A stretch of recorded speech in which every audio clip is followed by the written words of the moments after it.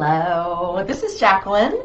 Uh, it is Friday, September 30th, and um, we're actually having really cool weather here. I'm talking about a fall project, uh, autumn, for those of you not in the United States. Here in, here in the US, we call it fall for some reason.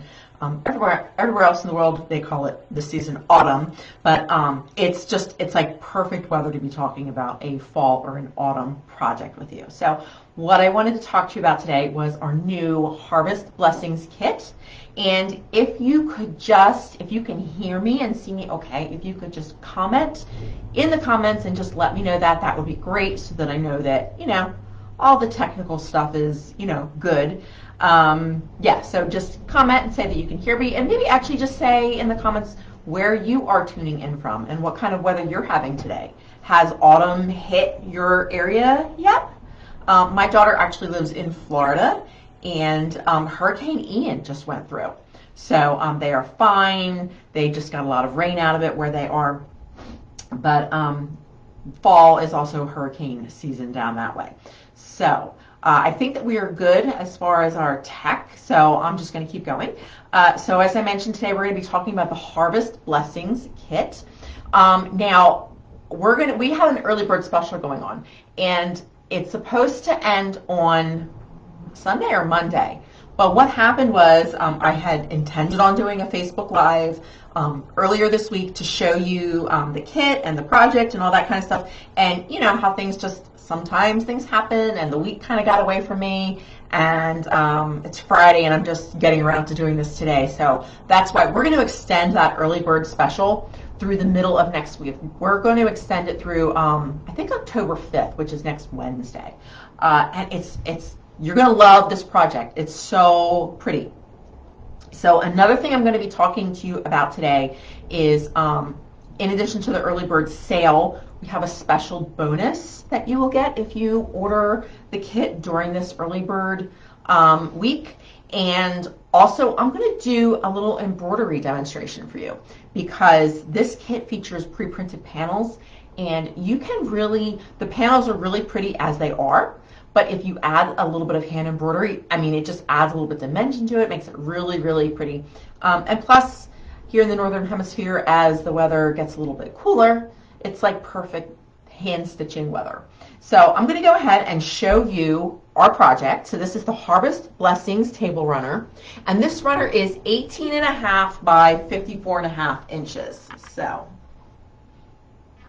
hopefully you can see the whole thing. I don't know if you can see the whole thing or just parts of it at a time.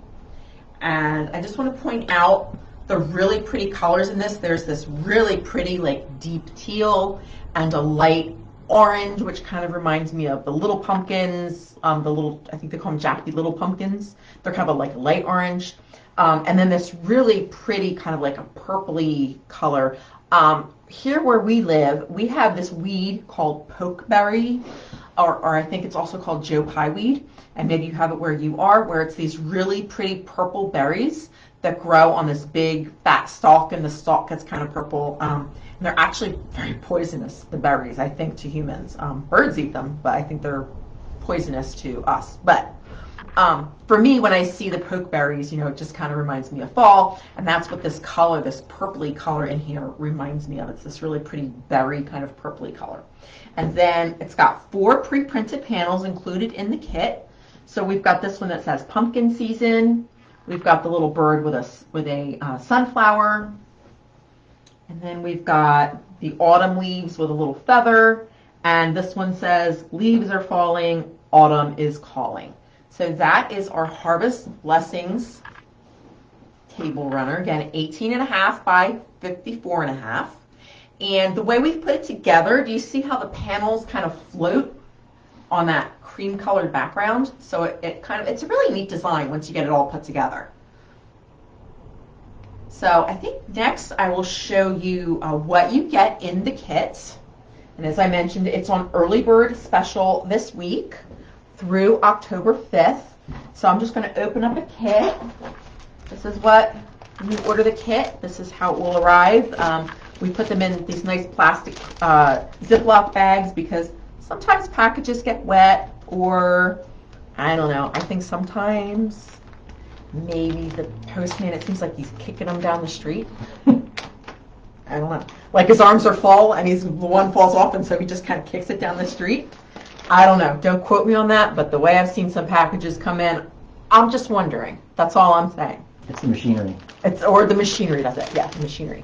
Um, but anyway, so they come packaged in this nice plastic bag, uh, so you don't have to worry about your fabrics getting damaged or anything on the way. But what you're going to get is you're going to get a printed pattern for making the project. And if you've done my patterns before, you know they are super, super easy to follow along. Lots of full color diagrams, so very easy to follow. Lots of fun to put together. This is so easy. You can do this one in a weekend. Um, so it's September 30th. Tomorrow's October 1st. Um, you can get this done like in just a day or two and have this on your table for the next couple of months right through Thanksgiving. It's perfect for Thanksgiving. Um, you're going to get the really pretty, you get the cream fabric, and then you get, again, that really pretty deep teal, that light pumpkiny orange, that really gorgeous berry color. And I hope that you can really see that berry color um, on, on the camera, on the screen. Um, sometimes, you know, colors are kind of weird on screens, but it is a really pretty berry kind of a purple. And then you're also going to get the pre-printed panels, and you get four of them, and they're six inches. And, you know, these have a look on them like that you just can't get from, say, applique or just hand embroidery. I do both. I love machine applique. I love hand embroidery. But you can't, you don't get a look with either of those techniques like you do with these pre-printed panels. And these are my original artwork. So I sketch these out and then um, I either paint them by hand or these I actually did on my iPad with a painting program. So I painted them all in um, on my iPad and then had them printed onto fabric for this kit for you guys. So this is the Harvest Blessings kit. That's what you get. You get all of the fabrics for the top. You get the panel and you, the panels, and you also get the binding fabric. Now, the other thing that we have is we have a, we have backing kits available. If you would like a coordinating backing, and we have them in three colors. We have them in the berry purple. We have them in the pretty light orange. This kind of reminds me of almost like a creamsicle.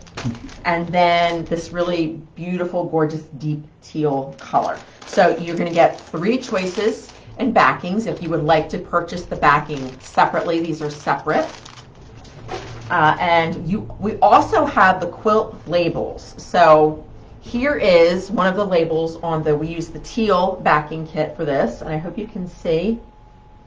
So what I did was I actually wrote what I wanted my label to say on a piece of paper first to make sure that I had it right.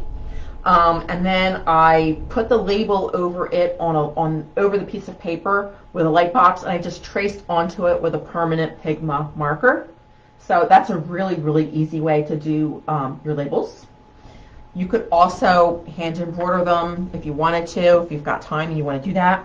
So the, here's the panel of the uh, labels. So if you want to get the labels, these coordinate, they all coordinate with the table runner. And there are, I think there's nine on here of various sizes and shapes.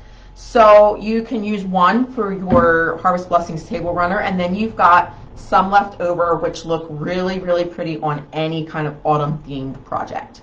Uh, or if you know, if you don't want to make the table runner right now, maybe just pick up the labels to, to add to your fall projects. They're really pretty. And again, they coordinate really nicely with this um, table runner. And especially if you're going to give the table runner maybe as a gift, it's really nice to have those coordinating labels on the back just to tell the recipient, you know, who made it, when they made it. Or if you're like me and you don't remember what quilts you made, when you made them, you really need to have a label on the back so you remember that you actually made that quilt. I forget all the time when I made things. So that's the, um, the kit and the labels and the backing kits that we have available. So again, we have the early bird special on the kit. It's only $29.95, which is a great price to make this beautiful runner. Uh, now you will have to add batting. The batting's not included, but I don't know if you're like me, you've probably got tons of batting. and uh, you can actually piece your batting scraps together. Piecing batting scraps together for a little project like this is like the perfect way to use up your batting. And uh, I actually have a tutorial on my blog about how to piece your batting scraps together. So when we're done, I will add that link to this Facebook description uh, so that you can see how to piece your batting scraps together. It's great for little projects. You probably, if you're doing like a king size quilt, I don't know if you have the patience to piece all of your scraps together um, for your batting, but for little projects, I piece my batting all the time. It's a great way to use up your batting. So let's see, what else did I want to talk to you about today? Um, oh, another thing, well, in a minute, I'm going to do the hand embroidery demonstration, but I mentioned to you that if you order during the early bird period, you also get another, you get a bonus. So here's what the bonus is.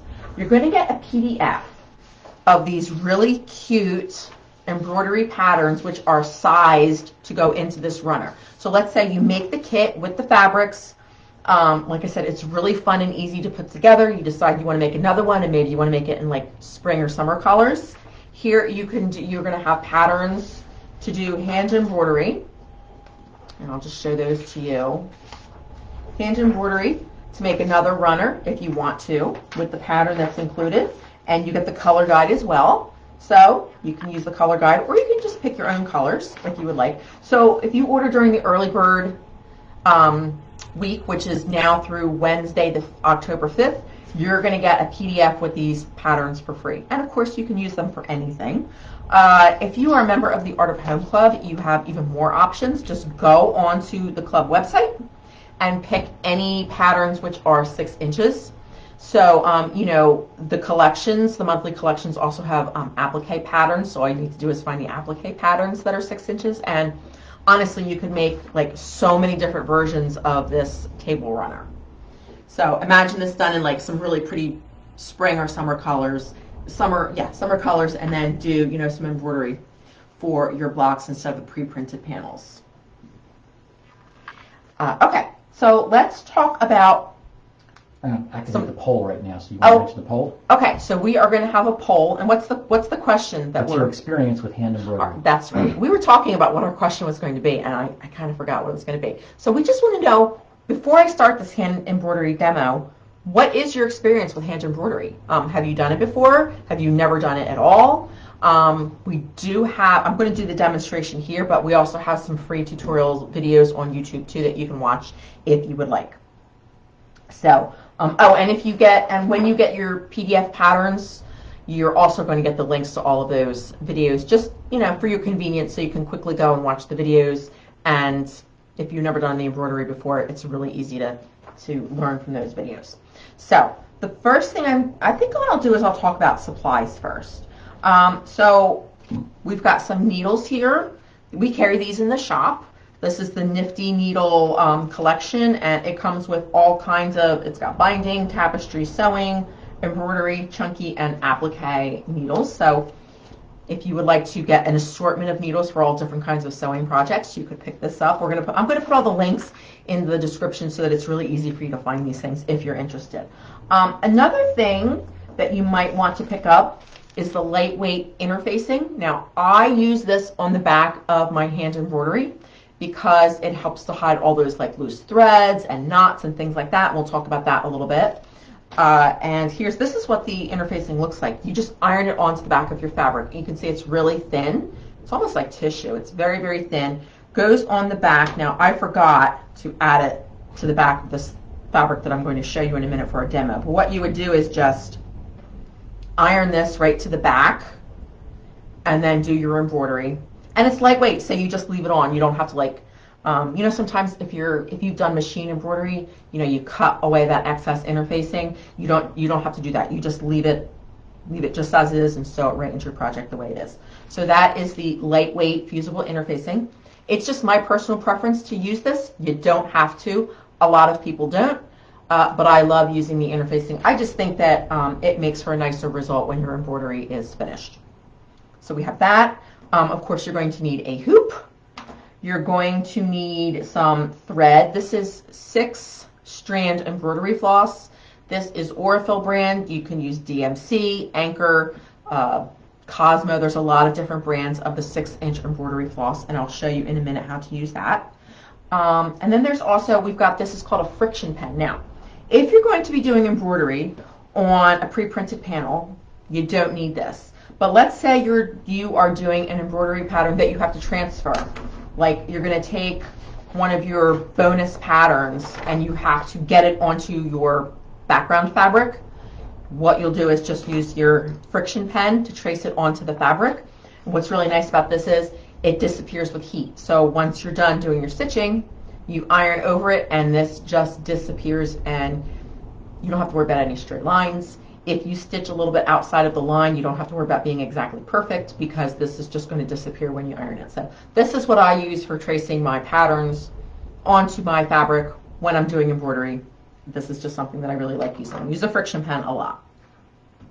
Um, and another thing I will talk about, not related to embroidery, but since we're talking about supplies, I've got my quarter inch seam marker here, and this is what it looks like in the package. We sell these in the shop. The, the runner does contain half square triangles and it's really, really easy. You could use any kind of a ruler to do the half square triangle. You don't need anything special. However, I really, I think this makes it just a lot easier to do. And if you're interested in this, um, we're going to put the link in the description. If you go over there, um, there's a video tutorial right there on the page for this showing you how it's used. So um, you can get an idea of how it's used. It's good for, you can use it for flying geese too. So um, I, this is another just, it's a little gadgety thing. It's it, pretty inexpensive and I just think it makes it a lot easier to make those half square triangles. So that's again an optional thing for making the project if you're interested in doing it.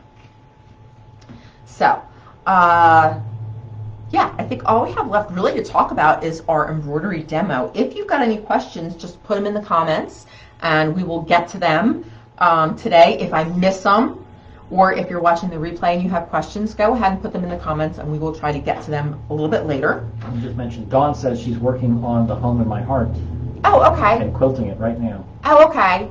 Dawn, I hope you liked putting that project together. That was our last kit that we did, the Home in My Heart, and that actually was machine applique. So um, if you like doing machine applique, that might be one that you want to pick up.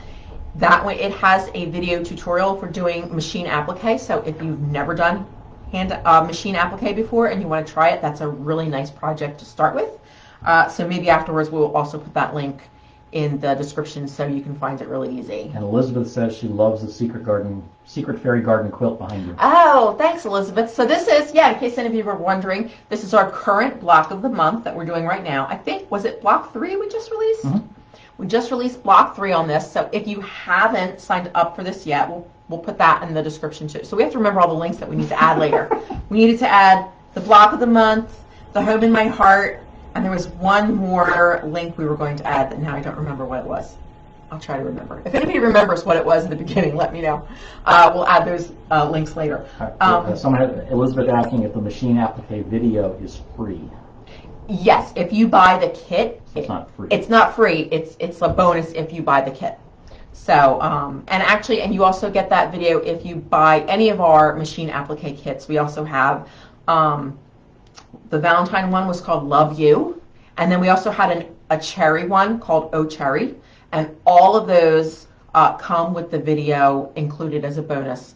Uh, and all of those would be great projects for getting started with machine applique if you haven't done that yet. The quarter inch ruler is the other link. Quarter. Uh, okay. No, I think I had already included that one. There's Okay. something else. I don't know. Maybe I'll think of it later. Um, but anyway, the block of the month. Yeah, we're on block three, and I think that was was it this one? Yes. Yes. This, all right. So the mushrooms were block number one, and then the strawberries one, two, three, four little strawberry and a mushroom block. That was block two. Uh, this was block three. So we still have this one left. Block four is the one with the fairy. No, it's not showing up. Uh, oh, okay. Well, I mean, There it is. we'll put the link in and you guys can go to the website if you haven't seen it yet. Um, we have kits available with this fabric. They are optional. You don't have to buy the fabric kit. If you just want the pattern, the pattern is completely free during the block of the month. So yeah, so we'll put the link in there. You can, if you want to click on over to that and see what the uh, what our block of the month is all about. This year, it's the Secret Fairy Garden. So, um, hoop is another thing that you need for embroidery, and I'm not sure if I mentioned that. Yep. But, uh, so if we can do uh, a zoom in now, I'm going to show you. So this is my panel. Like I said, a lot of times when I'm doing hand embroidery, I have just traced a pattern onto a piece of fabric. Uh, this is just a fun way. Now for our sample, we just used it. We just use the panel as is, and it's it's very pretty just as is. But if you really like doing the hand embroidery, or you want to just kind of add a little pop to it, what you can do is just do, this is a simple back stitch. It is like one of the very basic embroidery stitches, and you just kind of do that along the edges. So what I'm going to do is I'm going to take my panel. Hold on a second. Let me just let me zoom in a little bit more. Okay.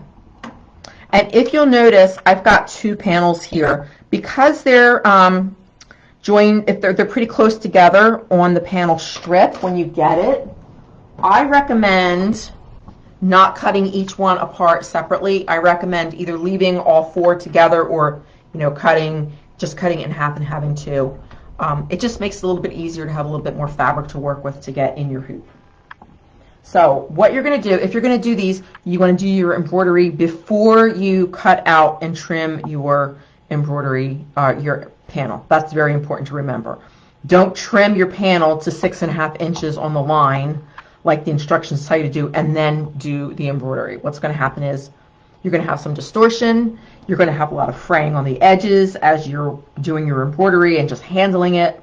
So do your embroidery first and then press it and then come back and do your trimming.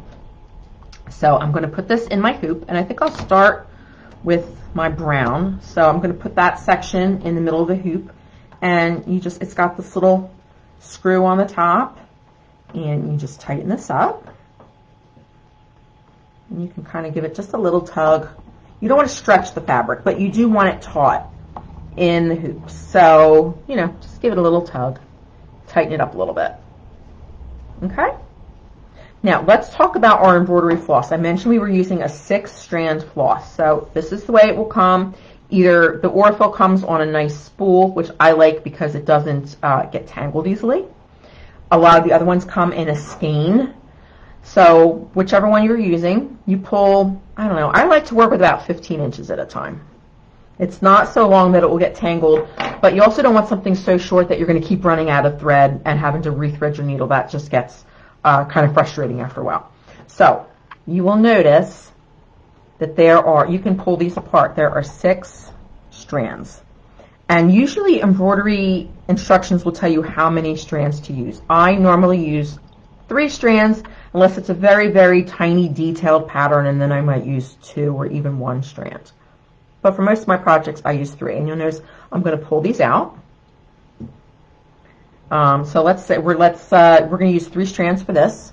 So I'm going to pull out three strands, and then I'm going to put them back together. Now, everybody always asks, why do you pull them all apart and then put them back together again?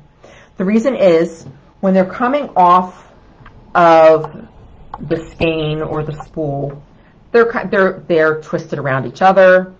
Um, you see, as I start to pull some out, because I only need three, the three that are left, you see how it's all kind of bumpy? They're kind of bumpy and uneven. If you pull them all out separately and then put them back together again, they're going to be nice and smooth and not twisted on each other. So you're going to get your three strands and just line them up. And I normally have a whole bunch of um, needles ready to go. Like I will sit and I will spend a while just doing all of my threads, threading a whole bunch of needles, that way I don't have to keep stopping to rethread my needle when I run out. So you see how that's quite a bit smoother than that one, that other one that I just showed you. So you would just thread your needle then. So I've got a needle started with my brown. This is three strands. Now let's talk about how to start your embroidery. Traditionally, you don't put a knot on your thread. Lots of people will tell you, grandma will tell you, don't knot your thread. Um, However, I've seen more and more people putting a knot on their thread. I just use a really simple, small overhand knot. And in fact, I'll do one for you just to show you. So it's just a simple overhand knot. You make a loop. You don't need some big, giant knot. It's just a small knot. And that will, that will keep your thread from pulling through. So, let me just cut off my excess. That's another reason why I like to use that interfacing on the back. It hides, it hides all of your knots and extra thread tails and stuff. Now, if you don't want to use the knot, what you can do is when you start your stitching, you leave a tail and then you kind of weave the tail on the back into your stitches as you go. So what I'm going to do is I'm just going to come up and then I'm, it's called a back stitch because we're going to go forward and then we're going to go back. So I'm going to take a little, this could be a little bit, this could be a little bit tighter in my hoop, but I'm going to try to work with it the way it is. So I'm going to go forward, I'm going to go down, and then I'm actually going to bring my needle up for the next one right in front of that and try to keep as you practice you'll get better at keeping your making your stitches the same length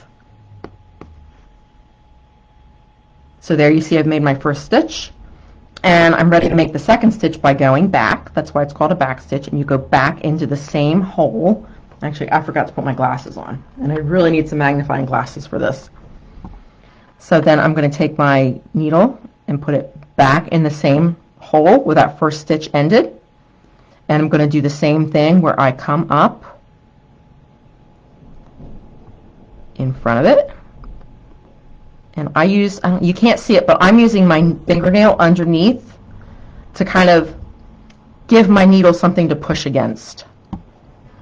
You can use a thimble if you don't have nails. And, okay?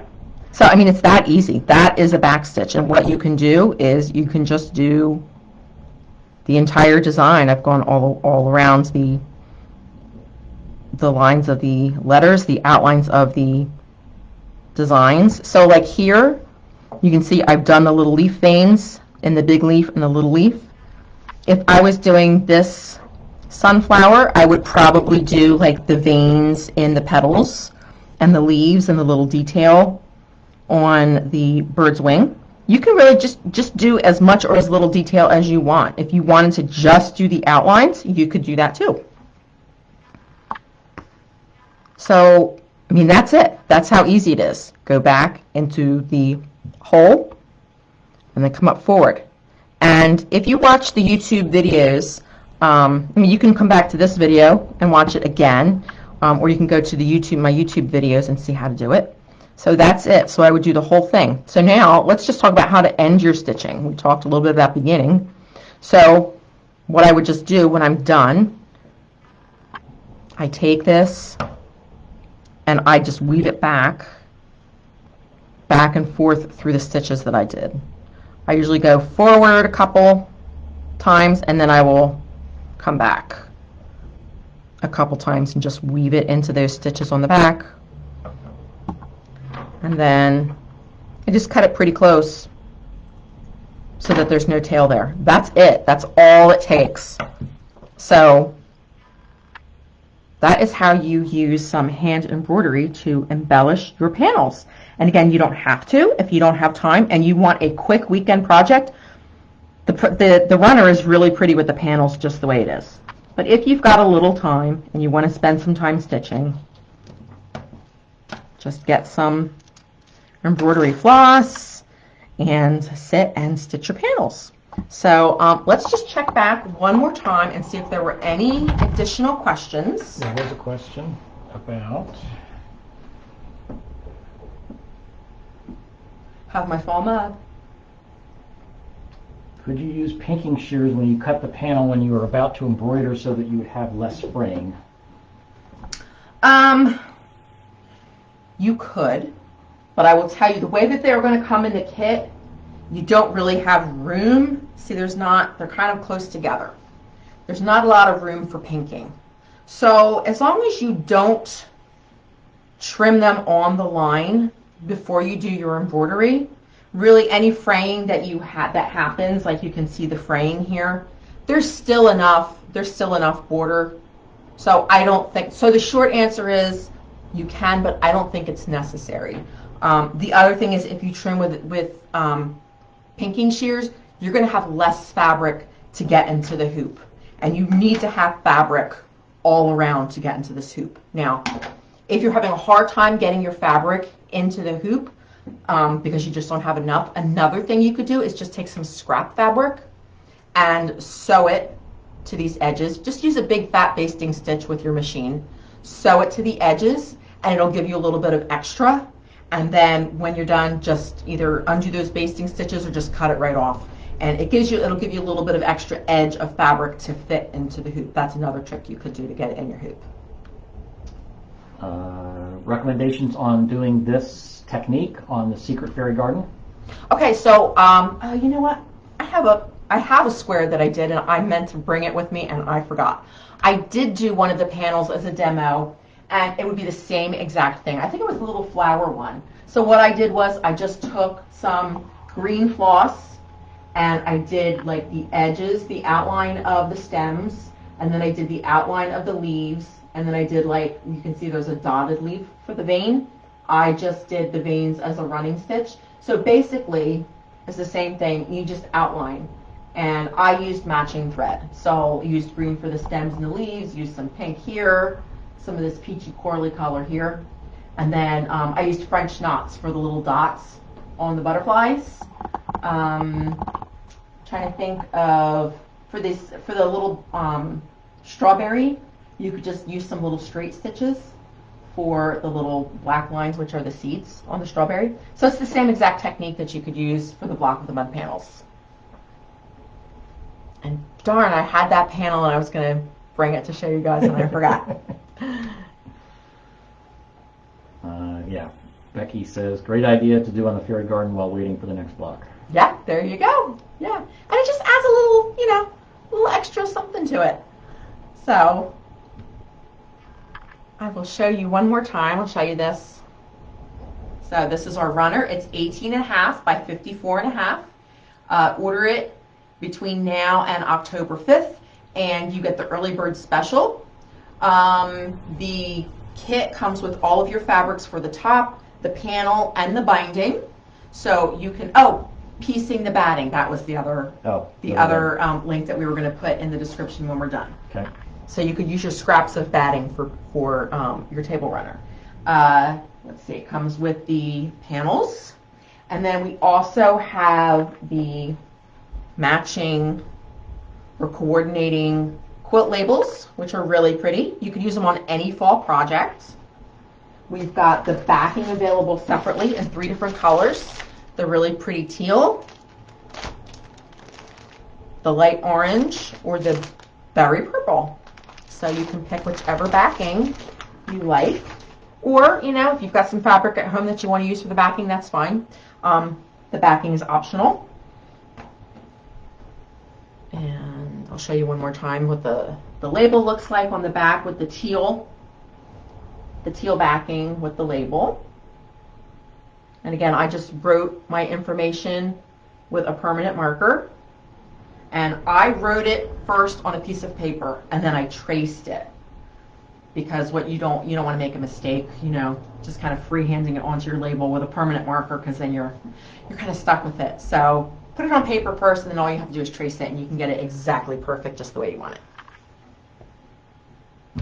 Okay, do we have any more questions? Uh, so I just put the poll results up. Most people are moderately experienced. Okay, all right, so it sounds like 14% have never done it before. Okay, so if you have never done it before, you might want to go check out those YouTube videos and uh, maybe just watch again about how to do the hand embroidery. Um, if you have already done hand embroidery, I, I hope that you are enjoying it and that you like it. I really like it. I find it to be really relaxing. It's just a nice thing to do. You know, sometimes if the weather is nice in the summer, I'll sit outside and stitch outside, or now as it's getting cooler, uh, I will sit and watch some of my favorite TV shows at night and do my embroidery. And uh, that's it. Okay. Well, have a really great day. Thanks so much for joining me. And we will get those other extra links in the description as soon as possible. You can watch this replay later if you would like to come back to it. And uh, that's it. If you think of any questions afterwards, you can write to us at comments at jacquelynnesteves.com and we will email you back or you can just put it in the comments. So, okay, great. Thanks. Thanks for joining me today. Bye-bye.